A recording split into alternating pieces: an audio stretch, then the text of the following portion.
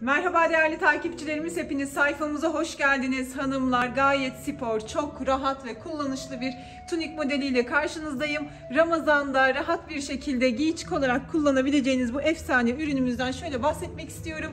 İthal aerobindir hanımlar göğüs altına kadar fermuarı bulunmaktadır.